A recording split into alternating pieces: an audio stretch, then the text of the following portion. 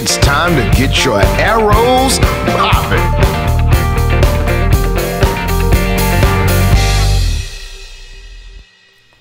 Ladies and gentlemen, this is Mr. Whitt with Fort Bend Tutoring, and today's tutorial is about solving linear equations part 3.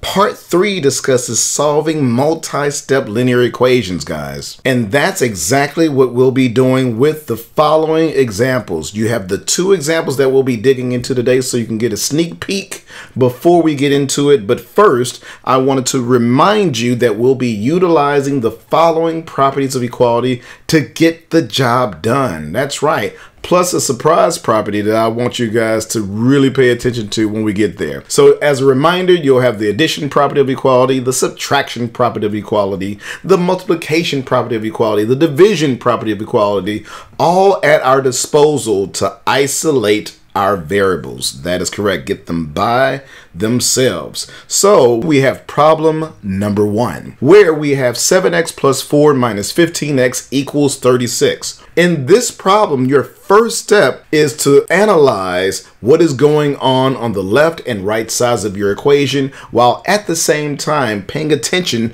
to which terms have the variable that you're trying to solve for.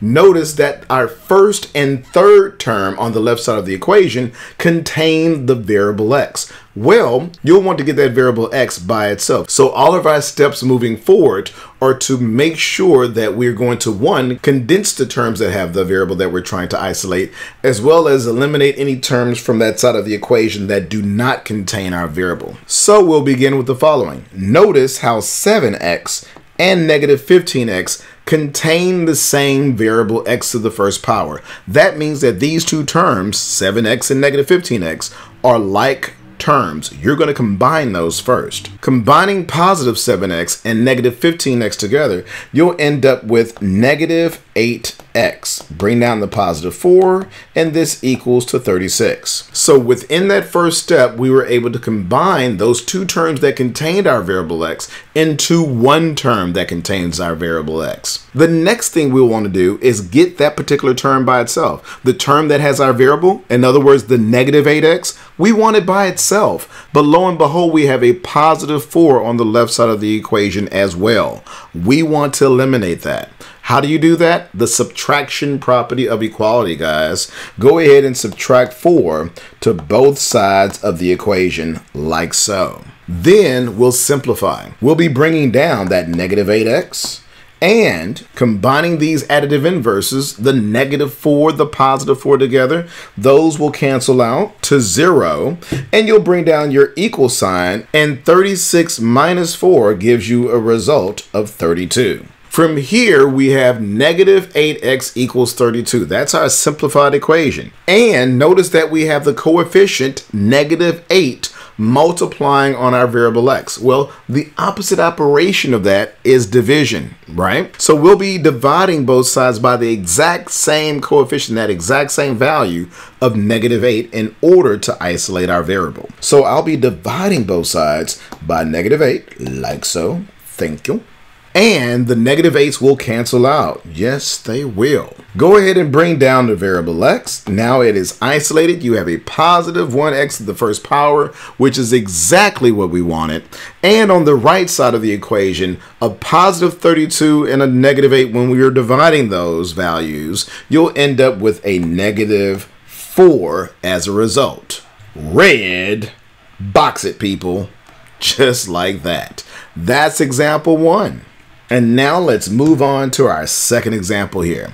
This problem is very important to me because I'm able to share with you my favorite property in the world, and that is the distributive property. I love the distributive property. That is our surprise property for this video, guys. Without further ado, notice that we have two terms on the left side of the equation. What do I mean by that?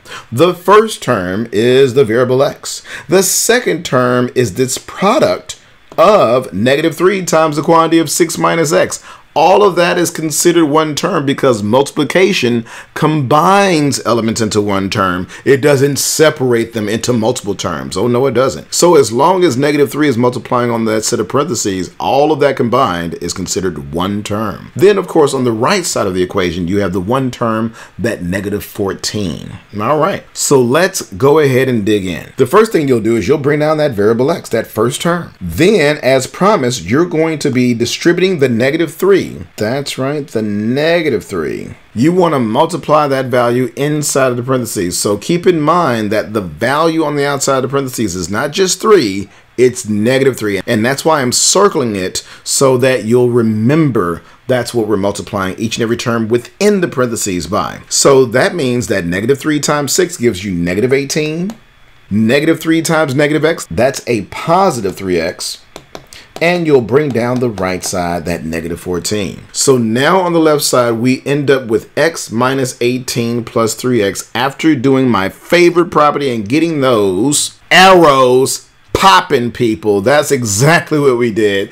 We got our arrows popping. And now we're going to be looking for like terms. So after you distribute, always go to the next step looking for like terms. And that's exactly what I have. So I'll be combining the positive x and the positive 3x together to give me 4x minus 18, which equals to negative 14. From here, we're looking at isolating the term 4x. We want to get that by itself. So I'm going to use the addition property of equality and add 18 to both sides of the equation. Mm -hmm. We'll be bringing down 4x Combining our additive inverses, that negative 18, that positive 18, those opposites, they'll combine to cancel out. And then this will be equal to positive 4. That's right. The result of negative 14 and 18 when combined. Remember that unlike sign subtract when you're combining terms together, and you'll keep the sign of the bigger number. So the reason why the result is positive 4 is because the 18 is positive and it's a bigger value. Its absolute value is a larger value than the absolute absolute value of negative 14. So we always keep the sign of the bigger number, okay? And from here, we're witnessing that we have a coefficient of 4. The number that's multiplying on our variable will be dividing both sides by 4, like so. Simplifying, we'll be able to bring down our variable x, which equals to positive 1, because 4 divided by 4 is positive 1, guys. And now we'll be red boxing it. And this is our solution for problem number two, guys. And that concludes our video, people. So go ahead and stick around for part four. In the meantime, guys, don't forget to subscribe to our YouTube channel, Fort Bend Tutoring. Peace. Thanks for watching. We appreciate you hanging out with Fort Bend Tutoring. Like the video, comment, and subscribe.